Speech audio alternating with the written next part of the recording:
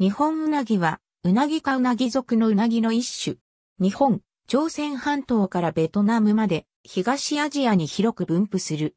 河川生活期は色が基盤で見えることが木うなぎ、海洋生活期は銀色に見えることから銀うなぎと呼ばれることがある。制御は全長1メートル、最大で1.3メートルほどになる。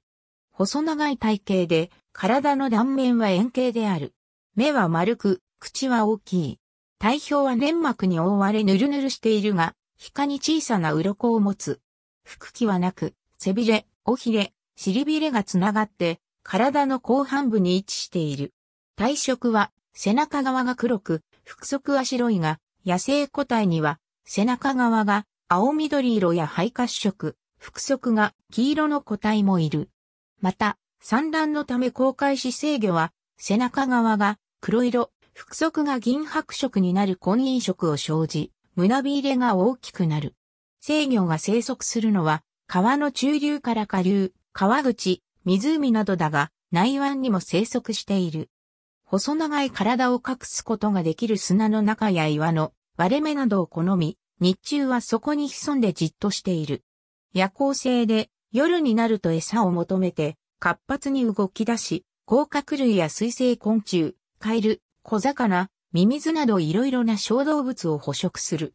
エラの他に皮膚でも呼吸できるため、体と周囲が濡れてさえいれば陸上でも生きられる。雨の日には生息域を抜け出て、他の離れた水場へ移動することもあり、路上に出現して人々を驚かせることもある。濡れていれば切り立った絶壁でも体をくねらせて、這い登るため、うなぎ登りという比喩の語源となっている。うなぎの生活管海洋で産卵が行われ孵化した稚魚は、翡水域から淡水の河川で成長する。故障河川で5年から12年程度生活し性的な成熟が近づいた新魚は、公開し、産卵場所まで回遊する間に成熟する。一方、自石に含まれるストロンチウムの分析から、ヨーロッパウナギと同じように河川遡上を行わない海うなぎや汽水と淡水を複数回行き来している川口うなぎの存在が明らかとなっている。なお、日本近海で捕獲された産卵海遊中の新魚の自石分析の結果から再生産に関与している個体の約85%に淡水素上歴が記録されていなかったとする研究がある。卵から2から3日で孵化した死魚はレプトケファルスと呼ばれ、制御とは異なり、柳の葉のような形をしている。この体型はまだ遊泳力のない死魚が海流に乗って移動するための浮遊適応であると考えられている。死魚、稚魚機は主にマリンスノーを餌としていることが明らかになりレプトケファルスは成長して稚魚になる段階で変態を行い、扁平な体から円筒形の体へと形を変え150から500日後にシラスウナギとなる。シラスウナギは体型こそ制御に近くなっているが、体はほぼ透明で、全長もまだ5センチメートルほどしかない。シラスウナギは、ミンダナオ海流や北赤道海流に乗って東南アジア沿岸を経過し、黒潮に乗って日本沿岸にたどり着き、川を遡る。流れの激しいところは川岸に上陸し、水際を張って遡る。川で水生昆虫、魚、甲殻類を捕食して成長し、5年から十数年ほどかけて成熟する。その後うなぎは川を降り、産卵場へと向かうが、その経路に関してはまだよくわかっていない。海に注ぐ河口付近に生息するものは、淡水、汽水、海水に常時適応できるため、自由に行き来して生活するが、琵琶湖や猪苗代湖等の大型湖礁では、産卵期に公開するまで生息故障と周辺の河川の淡水域のみで生活することが多い。また、近年の琵琶湖等、いくつかの故障では外洋へ注ぐ河川に堰が作られたり、大規模な河川改修によって外洋等往来できなくなり、湖内のうなぎが激減したため、稚魚の放流が行われている。長らく正確な産卵場所は不明で、フィリピン島崩壊域とされていた時期もあるが、外洋域の深海ということもあり、長年にわたる謎であった。しかし、2006年2月、魚類学者の塚本勝美らの研究チームが、日本うなぎの産卵場所がグアム島やマリアナ諸島の西側沖のマリアナ海嶺の駿河美山付近であることを突き止めた。これは、孵化後2日目の飼料を多数採集することに成功し、その遺伝子を調べた結果、日本うなぎであることを確認したものであるこれにより、冬に産卵するというかつての仮説は否定された。2008年6月及び8月には、水深が2000メートル以上もある、西マリアナ海嶺南部海域で、水産庁と水産総合研究センターによる調査チームが成熟した日本うなぎ及び大うなぎの捕獲に世界で初めて成功した。トロールの引き網水深は200から300メートルであった。オスには成熟した清掃が、メスには産卵後と推定される収縮した卵巣が認められた。また、水深100から150メートルの範囲で、孵化後2から3日経過したと思われる死魚26匹も採集された。さらに、プレレプトケファルスが生息する層の水温が26.5摂氏28度であることを初めて確認した。同チームは2009年の調査において、さらに南方の海域で8個体の日本ウナギと2個体の大ウナギを捕獲した。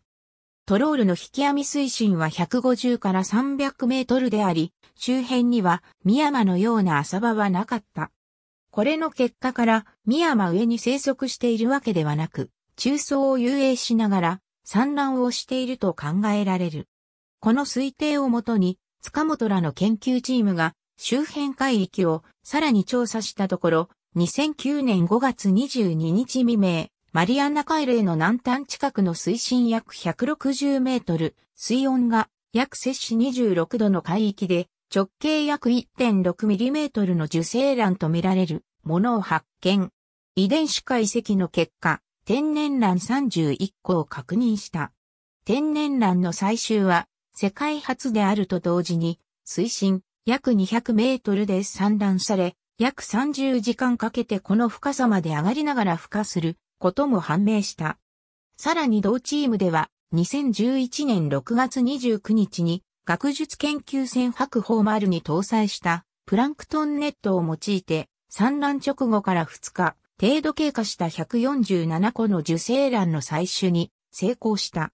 新月の2から4日程度前の日没から23時の間、水深150から180メートルで産卵されたと推定される。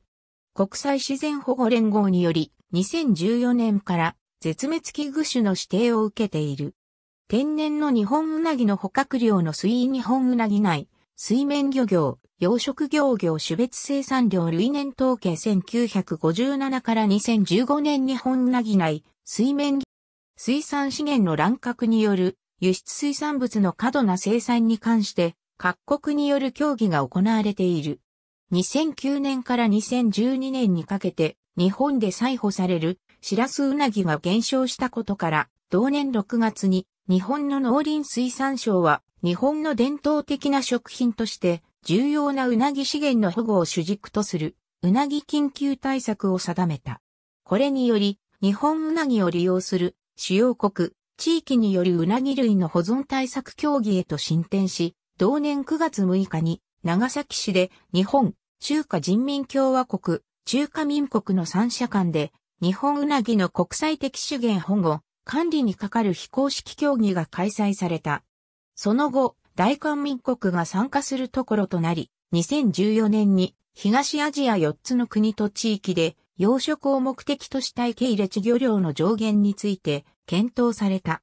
この間、日本では日本うなぎの個体数がシラスウナギの密漁で著しく減っているため、2013年2月1日に環境省のレッドリストで情報不足から絶滅危惧 IB 類へカテゴリー変更が行われている。絶滅危惧 IB 類また以下の都道府県によりレッドリストの指定を受けている。2014年6月12日、国際自然保護連合は日本ウナギを絶滅する危険性が高い絶滅危惧種に指定し、レッドリストに掲載した。2017年3月31日には、生物種や資源としての日本ウナギの保全に取り組むため、日本と台湾、韓国、中国の研究者ら約100人が参加する東アジアうなぎ学会の設立総会が開かれた。2018年には流通の不透明さとうなぎの保護に向けて絶滅の恐れのある野生動植物の種の国際取引に関する条約のリストに掲載して全世界で流通規制するかを2019年5月23日にスリランカで開催されるワシントン条約締約国会議に向けて議論が始まった。うなぎ供給量の推移グラフ。水産庁によるデータ商業レベルの完全養殖は行われていないため、太平洋から回遊してきたシラスウナギを河川で捕獲し、陸上の養殖地で養殖される。日本でうなぎの養殖業を営むためには、農林水産大臣の許可が必要である。シラスウナギの国内漁獲量には変動があるため、不足分は輸入し補っている。2017年時点では、養殖種苗用、シラスウナギの採捕は、都道府県の管理下で行われているが、現実は自由に行うことができるため、密漁や密輸が横行し、漁獲枠上限を超過し、うなぎ資源減少に拍車をかけているほか、シラスウナギの売買が暴力団の資金源になっている。また、2018年には日本で採捕されたシラスウナギの約40%が密漁や漁獲の無報告の疑いがある。採捕したシラスウナギはボイラーで水温を摂氏26度から摂氏30度程度に温めた養殖地に移され、うなぎ用に成分を調整した配合飼料を与えられる。養殖開始後、6ヶ月から7ヶ月で出荷可能な大きさにまで育つ。新魚の持つ卵、及び生種の成熟条件や飼料、稚魚機の餌が解明されたことで、2010年には実験室レベルではあるが、水産総合研究センターが養殖した親うなぎに産卵させ、孵化したレプトキファルスを親うなぎにする技術が成功したことが発表された。しかし、飼育費用が高額なため、商業化には至っていない。ありがとうございます。